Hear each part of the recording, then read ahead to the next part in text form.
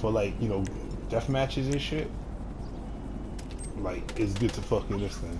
Oh, I dropped the grenade, guys.